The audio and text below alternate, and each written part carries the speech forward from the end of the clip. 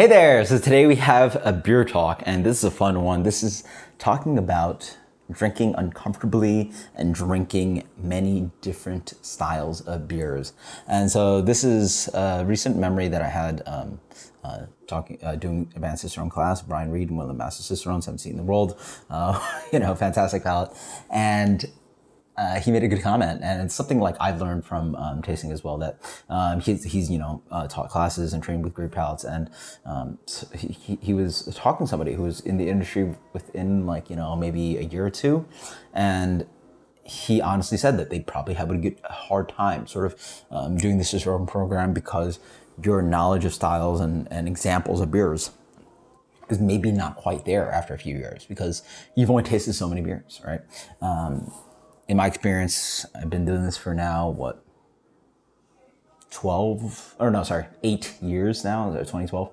And so something like that, it's, it's been a journey. And through that journey, you know, there's years I've been trying thousands and thousands of beers now, slow down a lot more, but um, it's so important to really drink uncomfortably, uh, especially studying for Certified Cicerone. It's important to drink uncomfortably and go to breweries or bars and not order the thing you usually order. You know, maybe don't order the simple hazy IPA. You know, I, I, gravitate towards those, something like that. Like, uh, order the Kolsch, you know, Reissdorf Kolsch. Is that on tap? Order it. Uh, Chimay on tap? Boom. Uh, I remember studying for Certified Cicerone. I ordered a Sierra Nevada Bigfoot.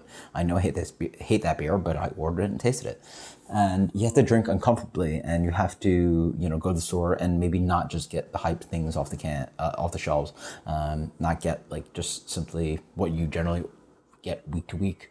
And I've, I've seen that with certified cicerones that they're tasting these beers and like, wow, like, why am I drinking these beers regularly? I need to find uncomfortableness and find my weaknesses. And one of mine is just not drinking a British beer. British beer. I need to uh, drink more of those. And so drink uncomfortably. That's what I'm doing right now. Find some styles you haven't had ever or recently and try them out. And um, you're going to learn a lot more. I think your enjoyment of beer is going to get way better because you, you're gonna find wine your palate. You're gonna definitely not like a lot of these beers, same way that I did in my early ages. But you know, as you go on and on, it takes time. It takes time. You get tired and you find more and more expensive palates, and you find that actually the shelf is actually one of the great places to enjoy beer.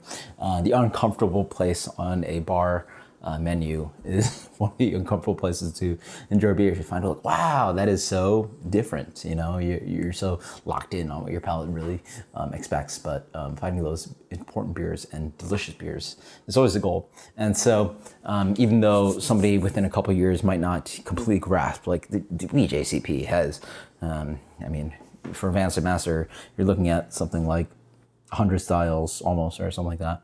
And then you're talking about examples within each of those. So let's nicely say there's three within. So now you're talking about at least 300 beers you want to sort of like have a palette of. And so if you've never had one of those before, how are you going to name it on the test?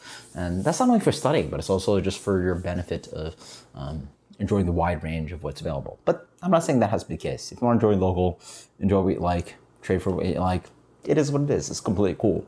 Uh, but I also think you're missing a lot out on tradition and the wide range of like, you're gonna find some classics that are shelfies and you realize, why did I waste my money on these hype ones? Chase after this, chase after that.